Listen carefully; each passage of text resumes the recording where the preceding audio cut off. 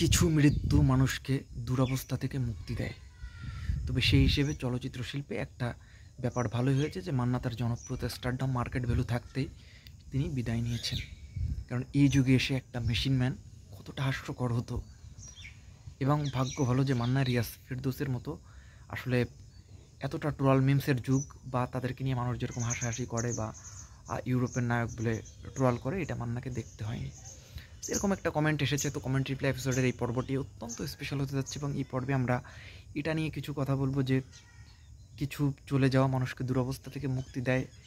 এটা নিয়ে আমি মান্নার ক্যারিয়ার গ্রাফ নিয়ে কিছু কথা বলব। এখানে নানা রকম বিস্তারিত এখানে ব্যাপার উঠে আসবে। আপনি যদি মান্নার ফ্যান হয়ে থাকেন, তাহলে আমি মনে করব এই ভিডিওটি আপনার জন্য মাস্ট আছে। আপনি কোথাও যাবেন না, আপনি চোখ বন্ধ করে আপনি একটানা নিঃশ্বাস নিয়ে আপনি এই ভিডিওটা দেখতে থাকুন যে একজন মান্না চলচ্চিত্র শিল্পের আসলে কোন লেভেলের জনপ্রিয় কোন লেভেলের স্টারডমওয়ালা ছিল সেটা নতুন করে বলার কিচ্ছু নেই।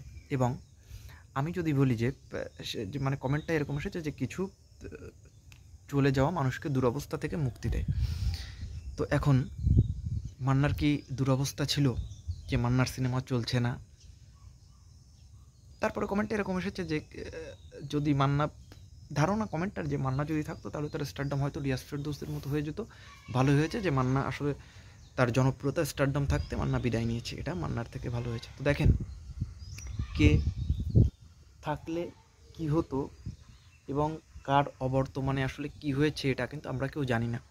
যে মান্না যদি আজকে বেঁচে থাকতো, তাহলে তার স্টারডম জনপ্রিয়তা, এটা নিয়ে আমরা বিভিন্ন রকম লজিক দেখি, আমরা পক্ষে বিপক্ষে আমরা কতগুলো যুক্তি দাঁড় করেছি। এখন এক্স্যাক্ট ফিগার কী আসতো সেটা কিন্তু আমরা কেউ জানি না। তো তবে এটুকু আপনারা বলতে পারেন যে দুই হাজার দশ সালের পরে তো শাকিব খানের সিনেমা তো ওরকম চলেনি। তাহলে সেখানে মান্নার ব্যাপারটা আপনি কীভাবে আসলে দেখছেন? হ্যাঁ সেটা কিন্তু আপনি বলতেই পারেন। তো আমরা একটা কমেন্ট বা একটা আমরা কোনো কিছু যখন, আমরা একটা ব্যাপারে যখন আমরা কথা বলব বা কথা বলি, আমাদের মনে হয় যে খুব হিসাব নিকাশ করে, খুব চিন্তা ভাবনা করে আমাদের কোনো একটা ব্যাপার নিয়ে কথা বলা উচিত। হ্যাঁ আমাদের মনে হচ্ছে যে এই ব্যাপারটা নিয়ে এরকমভাবে কথা বলা দরকার, আমরা সেই ব্যাপারটা নিয়ে আমরা সেরকম কথা বলব এবং যেটা নিয়ে আসলে কথা বলা যায় না, আমরা মনে করি যে আসলে এটা ভ্যালুলেস তো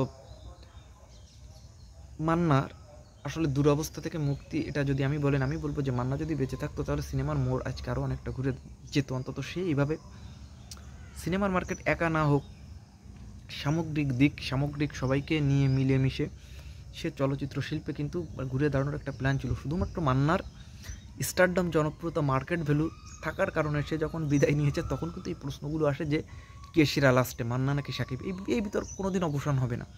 আপনি বলবেন যদি সাকিব সেরা ছিল, তখন আমি মান্নার পক্ষে হাজারটা যুক্তি দেখাতে পারি। যে মান্না তখন সেরা।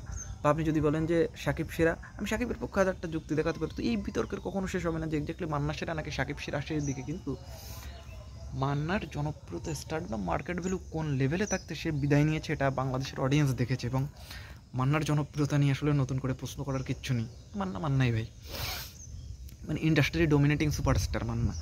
এবং বলা হচ্ছে যে জনপ্রিয়তা থাকাকালীন মান্না বিদায় নিয়ে ভালো হয়েছে এবং সে যদি আসলে আজকে বেঁচে থাকতো তাহলে মানুষজন ইউরোপের হিরোগুলো ট্রল করতো বা এই যুগে এসে মেশিনম্যান কতটুকু হাস্যকর সেটা মান্না দেখে যেতে পারেনি, ভালো হয়েছে যে, মান্নার machine man definitely super hit cinema but এই যুগে এসে হ্যাঁ ডেফিনেটলি এই যুগে এসে মেশিনম্যান হাস্যকর। কিন্তু এখন কি মান্না মেশিনম্যান ছবি করতো? মান্না এখন সিনেমা কোন ধারায় করতো সেই প্ল্যান পরিকল্পনা করেই কিন্তু মান্না কিন্তু এগিয়েছিলেন।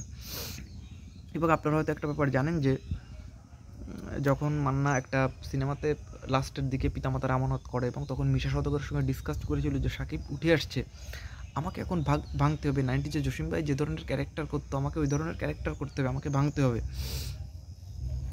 এবং লোকটা প্রচুর পরিমাণে অ্যানালাইসিস করতো যে কী ধরনের সিনেমা করলে ইন্ডাস্ট্রি ঘুরে দাঁড়াতে পারবে, আমার ক্যারিয়ার আরও বিল্ড আপ হতে পারবে। কীরকম ধরনের সিনেমা করা যায়? মান্না প্রচুর পরিমাণে ভাবতো, প্রচুর পরিমাণে সিনেমা নিয়ে খাটতো, প্রচুর পরিমাণে অ্যানালাইসিস করতো, যার ফলশ্রুতিতে কিন্তু মান্না মান্না হয়ে যায়। তো এই দুরবস্থা থেকে মুক্তি বা মেশিন ম্যান এই যুগে আসলে কী হতো? এই কমেন্টগুলো আমার মনে হয় অনর্থক এবং এটা আসলে বলা আসলে কোনো রকমের যুক্তিযুক্ত ব্যাপার আসলে মনে হয় তো যাই হোক, এটা নিয়ে কিছু কথা বলার ছিল। ভালো লাগলে লাইক কমেন্ট শেয়ার জানিয়ে দেবেন। আপনাদের মূল্যবান মতামত দেখা হচ্ছে নেক্সট কোনো ভিডিওতে। সে বিষয়ে ফিল্ম সঙ্গে থাকবে